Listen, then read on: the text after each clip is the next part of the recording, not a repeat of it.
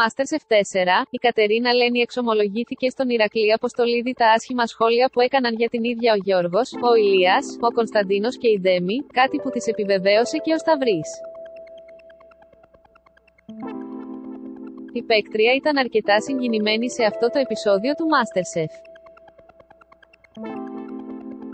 Χθες χάλασε πάρα πολύ η ψυχολογία μου, γύρισαν τα παιδιά από την έξοδο και για κακή τους τύχη, όταν άλλαζα μέσα στο δωμάτιο, ήταν ανοιχτό το παράθυρο και είχε βγει η κλίκα της δικής μου ομάδας έξω από το σπίτι είχαν βγάλει τα μεγάλα φτιάρια.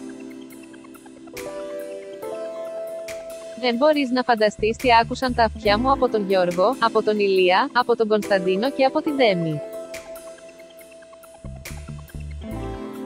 Αυτό μου το επιβεβαίωσε και ο Σταυρής, μου είπε ότι στο τραπέζι με έβριζαν, είπε μεταξύ άλλων η Κατερίνα Λένη στον Ηρακλή.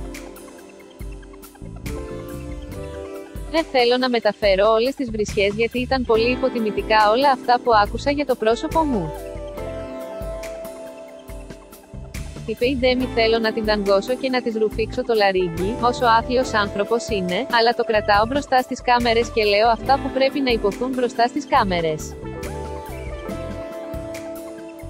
Είμαι πολύ φορτισμένη, είπε συγκινημένη η Κατερίνα Λένη.